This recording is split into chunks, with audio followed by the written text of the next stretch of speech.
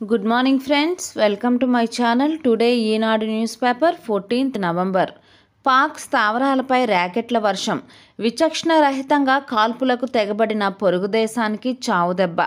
పాకిస్తాన్ మరోసారి భారత్ను రెచ్చగొట్టి కంగుతింది. నిప్పుతో చెలగాటమాడి చేతులు కాల్చుకుంది. యావత్ భారతావని దీపావళి సంబరాలకు సన్నద్ధమవుతున్న వేళ పాక్ సైన్యం దుస్ దుస్సాహసానికి ఒడిగట్టింది. జమ్మూ కాశ్మీర్లోని నియంత్రణ రేఖ వెంబడి అనేక ప్రాంతాలలో ఎలాంటి కవ్వింపు లేకుండా కాల్పులకు దిగింది. ఇందులో ఐదుగురు భద్రతా సిబ్బంది సహా పదకొండు మంది బలయ్యారు. దీంతో భారత సేన సింహంలా గర్జించింది. పాక్ సైనిక ఉగ్రవాద శిబిరాలు లక్ష్యంగా నిప్పుల వాన కురిపించింది. మన ప్రతిఘటన దాటికి శత్రు స్థావరాలు పేక మేడల్లా నేలకూలాయి. ఇన్ని ఇందులో ఎనిమిది మంది పాక్ సైనికులు హతమయ్యారు. కొందరు తోకముడిచి పరుగులు తీయడం వీడియోల్లో కనిపించింది. శుక్రవారం మధ్యాహ్నం ఒంటి గంటల ఒంటి గంట నలభై ఐదు నిమిషాల నుంచి రెండు గంటల నలభై ఐదు నిమిషాల మధ్య పాక్ సైన్యం కాల్పులకు దిగింది. నియంత్రణ రేఖ వెంబడి గురేజ్ నుంచి ఉరి సెక్టార్ మధ్య ఉన్న అనేక ప్రాంతాలలో ఈ దుశ్చర్యకు పాల్పడింది పాక్. సలాం కుటుంబ ఆత్మహత్యల కేసును సిబిఐకి అప్పగించాలి అని డిమాండ్ చేస్తున్నారు. నంద్యాలకు చెందిన అబ్దుల్ సలాం అతని కుటుంబం సభ్యుల ఆత్మహత్య కేసును సిబిఐకి అప్పగించాలని తెదేపా నేతలు డిమాండ్ చేశారు. ప్రత్యేకంగా ఫాస్ట్ ట్రాక్ కోర్టును ఏర్పాటు చేసి నిందితులను కఠినంగా శిక్షించాలి అన్నారు. ఆత్మహత్య ఘటనపై తెదాపా నాలుగో రోజు నిరసన కార్యక్రమాలు చేపట్టింది. కడప వైకాపాలో కుమ్ములాట కార్యకర్త హత్య. కడప జిల్లా కొండాపురం మండలం పి. అనంతపురంలో శుక్రవారం పట్టపగలు వైకాపా కార్యకర్త హత్యకు గురయ్యారు.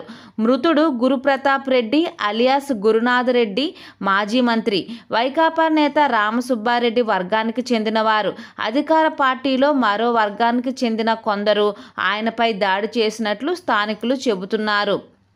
బరువు కొంచెం తగ్గినా మధుమేహం దూరం అవుతుంది అని అంటున్నారు బ్రిటన్ శాస్త్రవేత్తలు. శరీర బరువును కొన్ని కిలోల మేర తగ్గించుకోగలిగిన మధుమేహం ముప్పు దాదాపు సగం మేర తగ్గిపోతుందని తాజా అధ్యయనంలో తేలింది. బ్రిటన్లో శాస్త్రవేత్తల పరిశోధనలో ఈ విషయం వెలుగులోకి వచ్చింది.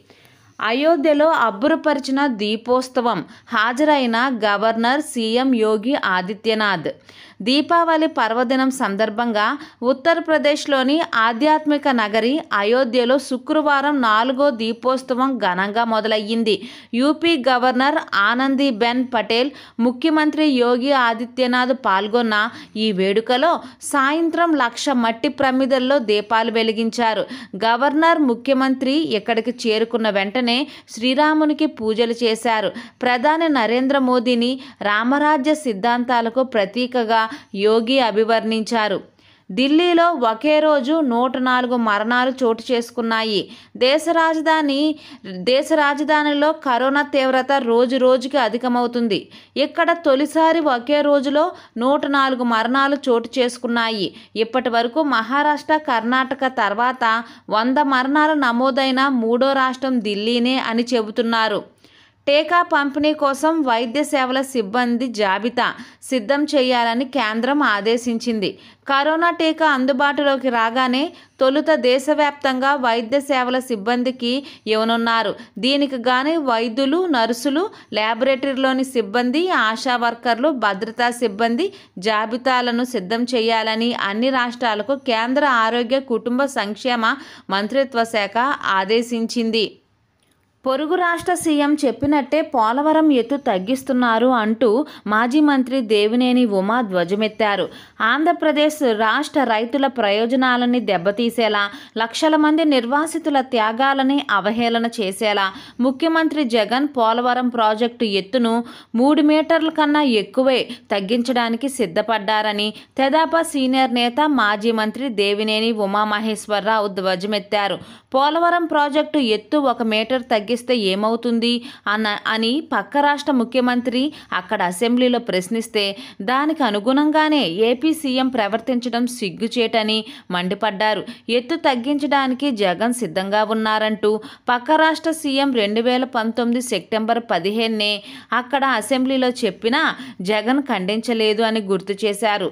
శుక్రవారం తెదాప కేంద్ర కార్యాలయం నుంచి ఉమ ఆన్లైన్లో విలేకరులతో మాట్లాడారు.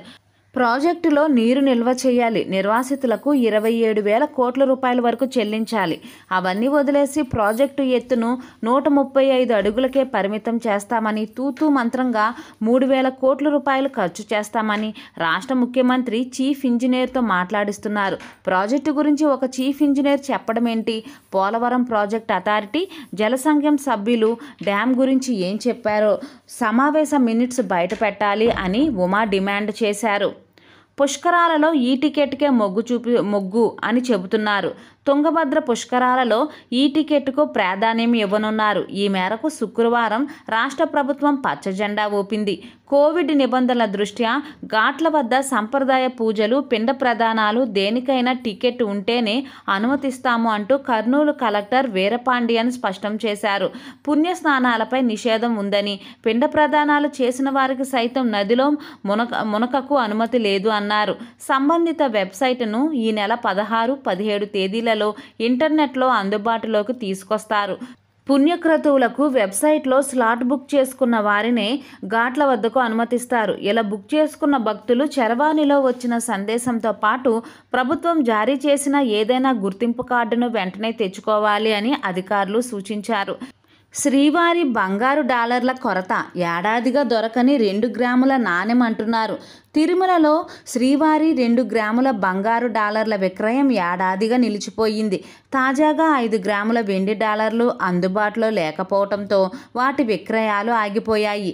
తిరుమలకు వచ్చే భక్తుల కోసం రెండు ఐదు పది గ్రాముల బంగారు నాణేలతో పాటు ఐదు పది గ్రాముల వెండి ఎత్తడి నాణేలు అందుబాటులో ఉంటాయి. వీటిని స్వామివారి ఆలయం ఎదురు ఎదురుగా ప్రత్యేక కౌంటర్లలో విక్రయిస్తారు. తీతీదే మింట్ ద్వారా ఈ డాలర్లను తయారు చేయిస్తుంటుంది. పది గ్రాముల డాలర్ ధర సుమారు నలభై తొమ్మిది వేలు రూపాయలు. ఐదు గ్రాములది ఇరవై ఐదు వేలు వరకు ఉంది. ఇంత పెద్ద మొత్తంలో పెట్టి కొనేందుకు ఎక్కువ మంది ముందుకు రావట్లేదు. రెండు గ్రాముల డాలర్లు అందుబాటు ధరలో ఉంటాయి. వాటిని కొందామంటే తయారీ నిలిపివేశారంటున్నారు భక్తులు.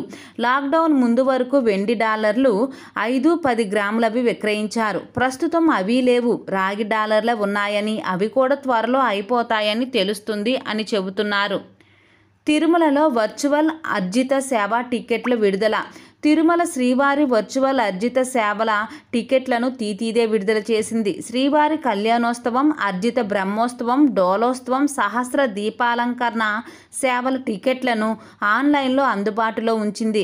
ఒక్కో సేవకు రోజుకు ఐదు వేల టికెట్లను భక్తులకు అందుబాటులోకి తీసుకువచ్చిన తీతీదే ఈ నెల పదిహేను నుంచి ముప్పై వరకు కళ్యాణోత్సవం టికెట్లను ఇరవై రెండు నుంచి ముప్పై వరకు మిగిలిన అర్జిత సేవల టికెట్లను ఆన్లైన్లో ఉంచింది.